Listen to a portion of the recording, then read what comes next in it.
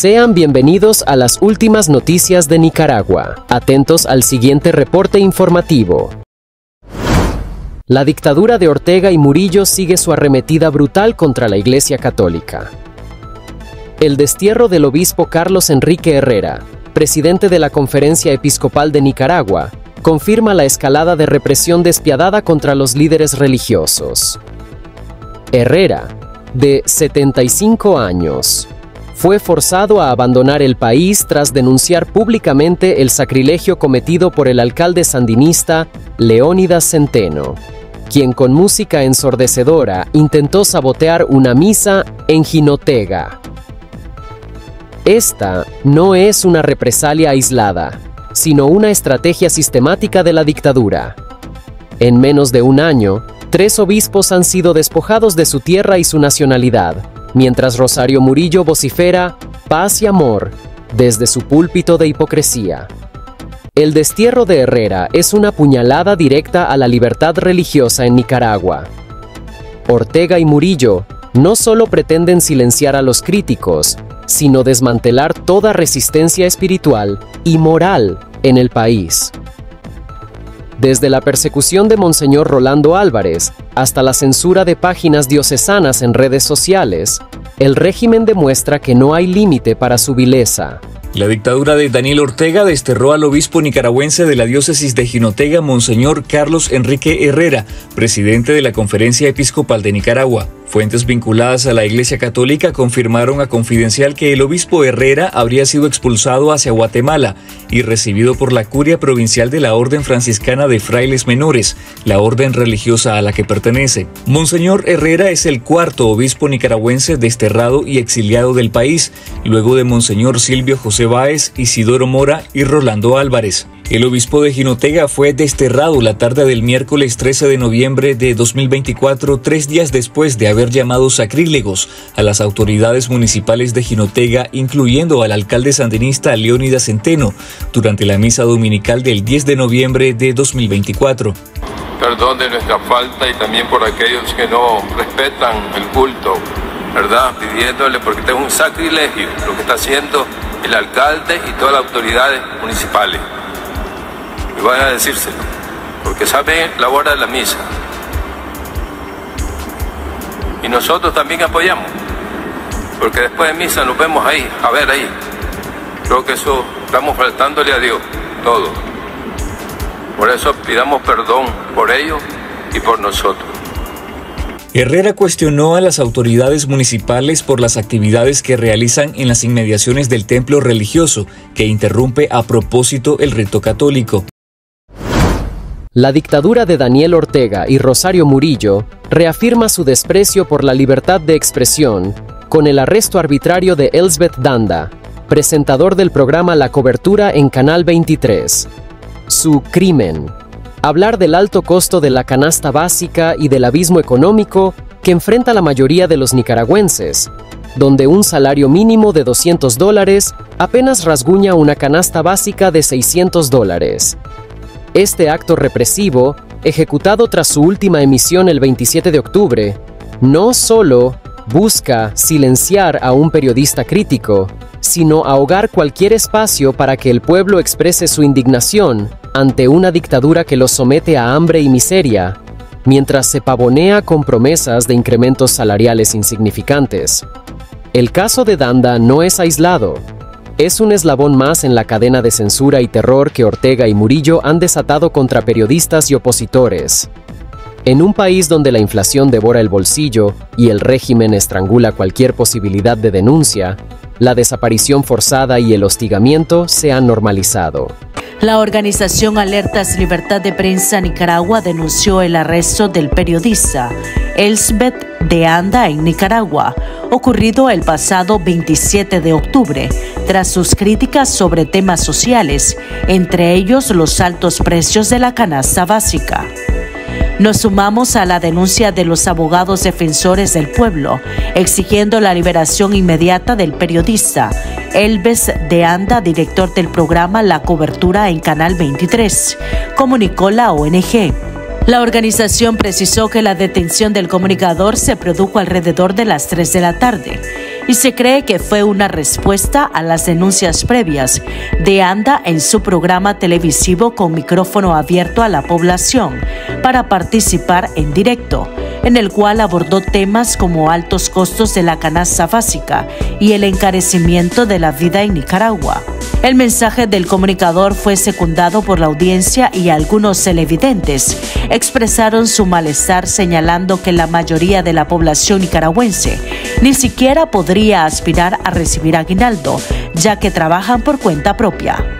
Una señora que vende su producto, que, que hace su producto, va a vender a la calle, no recibe su aguinaldo. Entonces hay mucha gente que no reciben aguinaldo. Y sin embargo, ahorita la cosa ya desde noviembre comienza a subirle. Qué barbaridad los comerciantes. Estos creen que, que uno cortar los reales del palo. No, hombre, eso no se hace. Ahorita todo está carísimo. Le suben al arroz, al aceite, a los frijoles, a todo, a la carne, al hígado de pollo. Fíjese que aquí el hígado de pollo vale 40 pesos. La dictadura de Daniel Ortega y Rosario Murillo recibe otro golpe internacional con las restricciones de visas impuestas por Estados Unidos a 350 miembros de la Policía Nacional de Nicaragua. Este cuerpo represivo, utilizado por el régimen para silenciar a opositores, acosar a la Iglesia Católica y perseguir a periodistas, ha sido señalado por su papel en violaciones sistemáticas a los derechos humanos. Desde 2021, más de 1.750 funcionarios nicaragüenses han sido afectados por estas medidas, como parte de una estrategia de rendición de cuentas promovida por la administración Biden, que reafirma su apoyo al pueblo nicaragüense en su lucha por libertad y justicia. La policía, lejos de garantizar seguridad, se ha convertido en el brazo ejecutor de un régimen empeñado en sofocar cualquier disenso el cierre de más de 5.500 organizaciones sin fines de lucro y el desmantelamiento del espacio cívico son testimonio del clima de represión y miedo instaurado por la pareja dictatorial.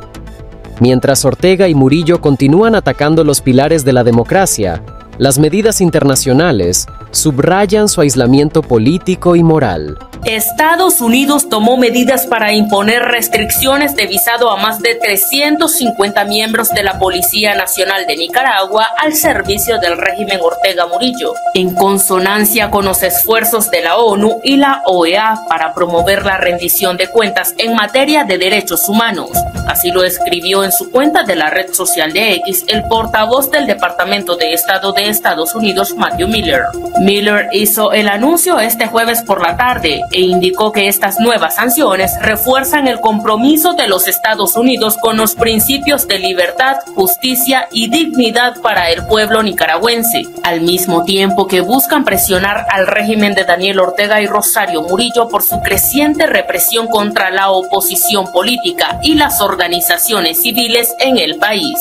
Cabe destacar que desde la crisis política Nicaragua del 2018, el gobierno de Estados Unidos ha implementado varias rondas de sanciones económicas y restricciones de visa contra altos funcionarios del gobierno, especialmente a miembros de la Policía Nacional, el Ejército y paramilitares.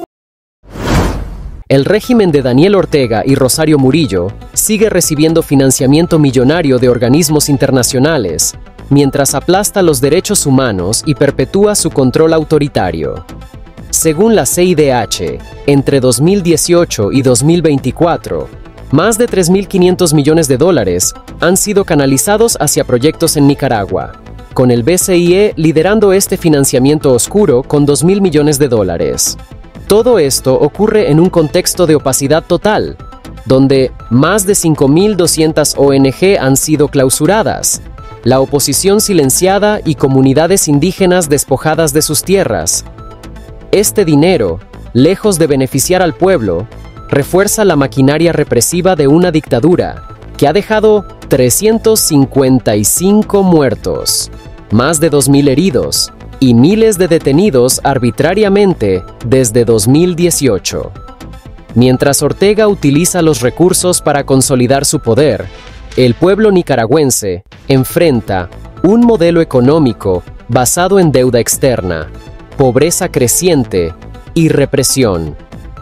La CIDH exige a los organismos financieros internacionales que dejen de financiar la represión, señalando su complicidad en la perpetuación de un régimen que pisotea los principios básicos de democracia y justicia. La Comisión Interamericana de Derechos Humanos dejó claro a la comunidad internacional sobre los graves riesgos que supone continuar proporcionando financiamiento al régimen de Daniel Ortega y Rosario Murillo sin contar con mecanismos adecuados de supervisión y transparencia.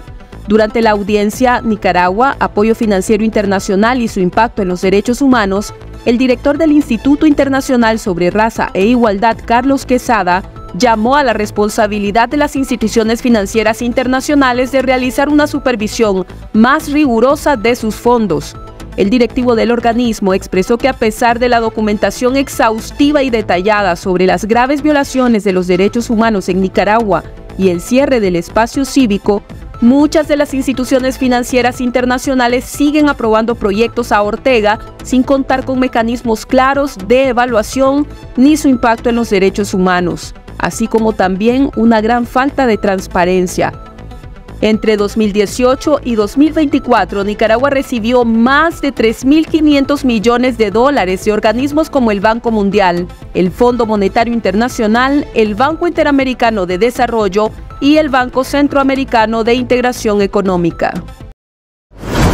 Suscríbete a Nicaragua Hoy TV para que no te pierdas las últimas noticias más importantes. Déjanos tu opinión en la caja de comentarios y activa la campana de notificaciones. Nos vemos en el próximo reporte.